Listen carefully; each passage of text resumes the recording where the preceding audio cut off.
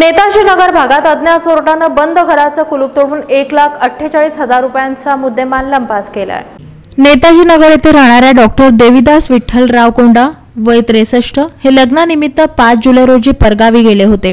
बंद घर असल्याचा फायदा घेऊन घराचा दरवाजाचा कडीकोंडा तोडून अज्ञात चोरट्यानं घरामध्ये प्रवेश करून टेबलच्या ड्रॉअरमध्ये व बेडरूमच्या आतील कपाट उचकटून प्लास्टिकच्या डब्यात ठेवलेली रक्कम व दोन सोन्याच्या अंगठ्या असा एकूण एक लाख अठ्ठेचाळीस हजार रुपयांचा मुद्देमाल लंपास केलाय.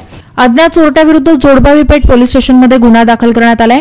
या संदर्भात फिर्यादी डॉक्टर देवीदास कोंडा यांनी अस्मिता विजयांशी बोलताना अधिक माहिती दिली आहे मी परवा माझ्या मुलीच्या नांदेच्या लग्नानिमित्त शुक्रवारी संध्याकाळी पाचला इथनं पुण्याला गेलो.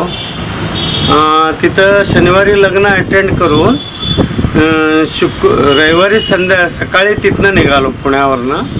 इथं सोलापूरला रविवारी सक संध्याकाळी सातला सात तारखेला सा सात वाजता आलो. तर सुरुवातीला गेटचा दरवाजा ला ला लावले लागलेलाच होता. मी उघडून आत आलो. ह्या गेटला ल- दरवाजा नव्हता. लॉक नव्हता. उघडाच होता. मग आत गेल्यावर माझा हॉलमधला पण एक स्टोअर रूमचा ओपन दिसला.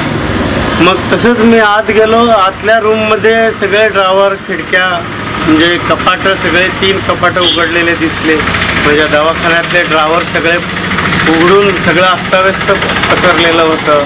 वरच्या बेडरूममधलं कपाट पण उघडून सगळे त्याच्यातले सगळे पैसे रोख रक्कम अंदाजे एक लाख पस्तीस हजार आणि सोन्याच्या दोन अर्ध्या तोळ्याच्या दोन अंगठ्या. एवढं गेल्याच्या ते दिसून आलं मला.